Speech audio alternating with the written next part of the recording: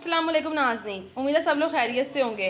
Viewers अगर अभी तक आप लोगों ने हमारे चैनल, क्योंकि विद नाज को सब्सक्राइब नहीं किया तो हमारे चैनल को सब्सक्राइब करें बेल आइकन पे क्लिक करें, ताकि हमारी हर आने वाली नई वीडियो नोटिफिकेशन आपको मिल सके।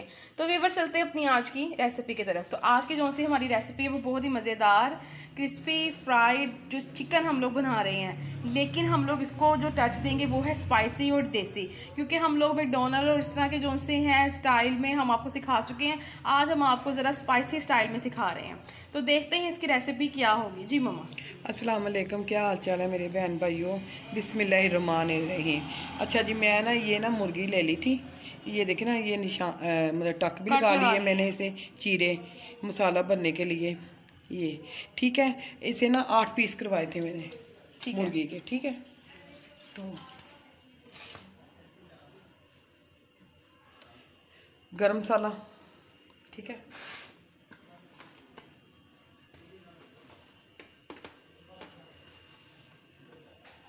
एक चम्मच दादरी मिर्च का ठीक है?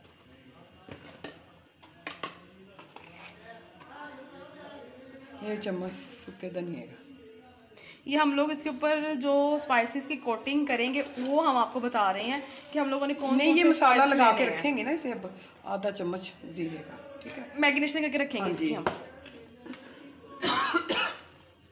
वो मिर्चें ला के आधी चम्मच तकरीबन। सुरख मिर्च की। हाँ जी।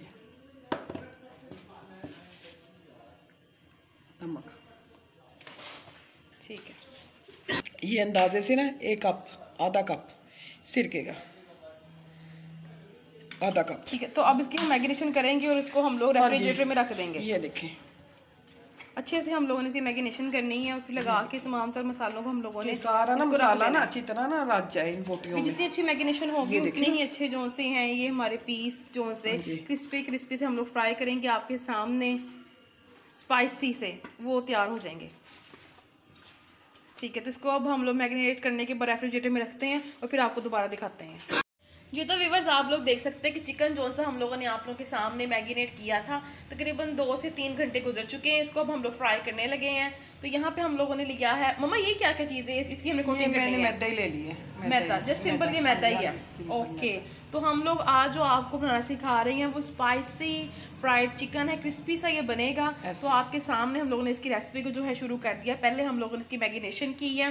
मैगिनेशन हम लोगों ने किन किन चीज़ों से की है कौन कौन से मसाले लिए हैं किस किस तरह की है वो हमने सब कुछ आप लोगों को बता दिया। अगर आपने हमारी वीडियो को पूरा देखा तो आपको अंदाज़ा हो गया होगा कि हम लोगों ने कौन कौन से मसाले लेने हैं कितनी मकदार में लेने हैं। और ये जो पीस हैं हम लोगों ने आठ पीस करवाए थे इस चिकन के ठीक है? तो ये पीसेस जो से वो बड़े हैं और आप लोग देख लें कि इसको मतलब जब आपने कोटिंग करनी है तो किस स्टाइल से करनी किस तरह दुबा दुबा कर करनी है? और आपको हम लोगों ने पहले भी डिस्कस किया कि जब आपने कोटिंग करनी है तो आप लोगों ने पानी में डिप करके सेकेंड टाइम फिर इसको दोबारा कोट करना है। सही है ना? हाँ जी फिर दोबारा फिर तल दोबारा। मतलब निकाल के ना तल के फिर दोबारा तलना है। ओके मतलब फ्राई भी हम टू टाइम्स करना है इसको और जो हम लोगों ने पानी में डिप करना है वो भी दो बार के एक बार वो?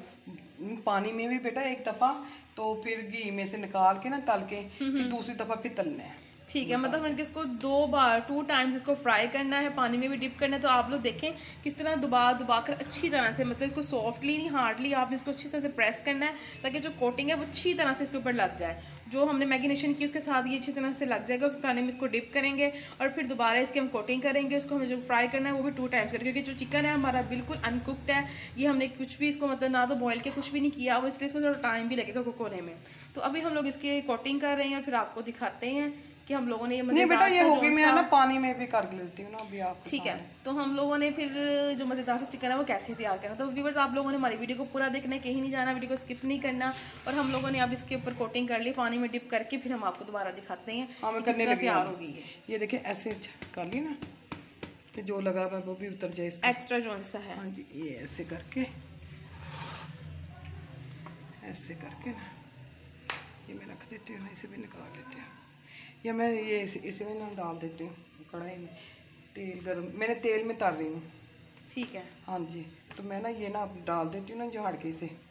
ये ना अच्छी तरह ना मैंने ना झाड़ना है कोटिंग इसकी उतरे ना अच्छी तरह हाँ से हमने इसको प्रेस कर करके इसके ऊपर कोटिंग हाँ करनी है। वो मज़े के आप बनेंगे आप बनाए इंशाल्लाह ये देखें ये हमारे जो हम ये ना मैंने अच्छी तरह ना तेल में ना जाए ये देखें बस चलो तो व्यूवर्स आपको दिखाते हैं। हाँ जी। आप उधर दबाओ ना तो मैं डालती हूँ फिर। ये लें वीवर्स आप लोग देखें अब कि जो हम लोगों ने चिकन इसके अंदर डाल दिया है और जो एक्सेस था जो उसमें एक्स्ट्रा था इसके हम उसको हम लोगों ने झाड़ कर अच्छी तरह से साफ़ करके इसको हम लोगों ने तेल में तला है। वैसे तो यूजली चीज़ें जो होती हैं वो घी में फ्राई की जाती हैं लेकिन हम लोग ऑयल में फ्राई कर रहे हैं इसको। तो बाकी पीसीज भी हम लोगों ने इसी तरह ही अच्छी तरह से कोटिंग करने के बाद फ्राई कर लेने हैं। तो इनको फ्राई करते हैं और आपको दिखाते हैं। माशाल्लाह कैसे प्यारे होने शुरू हो गए हैं। तो ये देखिए। अभी इनको हम फ़र्स्ट टाइम कुक कर रहे हैं सेकंड टाइम हम हाँ लोग अभी निकाल के ना फिर एक दफ़ा फिर करेंगे।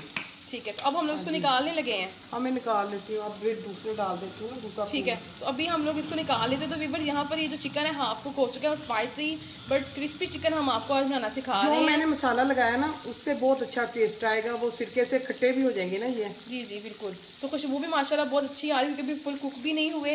इसको हम लोग निकाल रहे हैं और जो बाकी चिकन हमारा है रिमेनिंग उसको हम लोग इसके अंदर डाल रहे हैं। उसको दोबारा हम लोग कुक करेंगे। और आपको दिखाते हैं आप लोगों ने हमारी आज की रेसिपी को ज़रूर ट्राई करना। आप ऐसे मसाला लगा के रख लें ना तो जब ज़रूरत हो तो फ्रिज में से निकाल के तो अच्छा, तो फिर अच्छा। हाँ जी। ओके मतलब उसको प्रिजर्व भी कर सकते हैं हम लोग हाँ फ्रीजर में मसाला वगैरह लगा के। ठीक है तो ये भी मतलब आप लोग को एक यूज़फुल सी एडवाइस मिल गई कि अगर आप लोगों ने इसको फ्रीज़र में रखना है तो ये सारे स्पाइसेस यानी कि जिसकी मैगनेशन करके आप लोग इसको रख सकते हैं। और जब आपको मतलब यूज़ करना हो तो आप उसे निकाल कर यूज़ कर सकते हैं। हाँ जी। तो ये व्यूवर्स आप लोग देख सकते हैं कि जो रिमेनिंग चिकन था, वो हम लोगों ने इसके अंदर डाल दिया है फ्राई करने के लिए।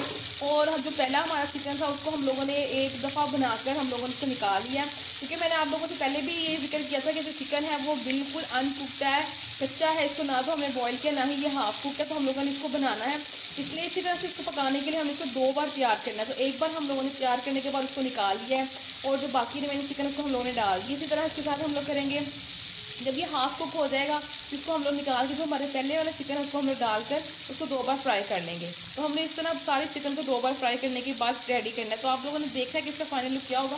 और माशाल्लाह, आप लोग अभी देख सकते हैं कि कितना क्रिस्पी क्रिस्पी सा ये दिख रहा है। कितना मज़ेदार सा खुशबू का तो क्या ही कहना, खुशबू से तो मेरे मुँह में पानी आ गया। और इनफैक्ट मुझे भूख लग गई कि इतनी अच्छी खुशबू आ रही, जल्दी से तैयार और मैं खा लूँ।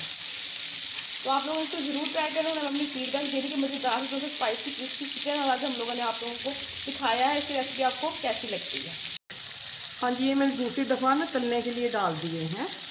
ठीक है तो मतलब चिकन के पीस हाँ जी तो हम लोगों ने जैसे कि पहले कहा था कि हम लोगों ने चिकन को दो बार फ्राई करना है। हाँ तो फ़र्स्ट टाइम हम लोगों ने इसको कर लिया था फ्राई तो हमने इसको निकाल लिया था ठीक है? हाँ। तो अब सेकंड टाइम हम लोगों ने फिर इसको डाला इसके बाद हम लोगों ने इसको मतलब जो हमारा चिकन है वो भी गल जाएगा। तैयार हो जाए खुशबू तो माशाल्लाह पहले ही बहुत ज़बरदस्ती आ रही है और क्रिस्पी क्रिस्पी चिकन भी हमारा तैयार हो गया है। और माशाला देखने में कितना कोटिंग भी जो है वो बिल्कुल भी नहीं उतरी।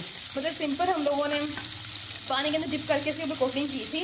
कोई मतलब अंडा नहीं लगाया, कोई ब्रेड क्रम्स नहीं लगाया जस्ट हम लोगों ने सिंपल कॉर्नफ्लावर लिया था।